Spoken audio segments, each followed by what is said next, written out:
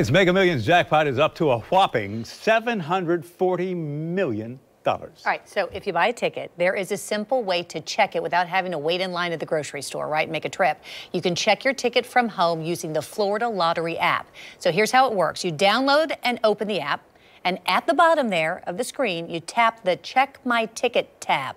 Then scan the barcode, which you'll find on the ticket at the bottom, to see your results. It is important to note that the, the app is not foolproof and it can be sluggish the day after a big drawing. So check it, see if you want, when, hang on to it, and then when you go to buy tickets again, you know, just recheck it just in case. You can also see the odds in all of the lottery games, by the way, on the app, but, but you may not like what you learn. The chance of winning the Mega Millions grand prize is one in da, da, da, da, da, da, da, 302 million. I'm not listening. You got a chance. I'm not listening. You got a chance.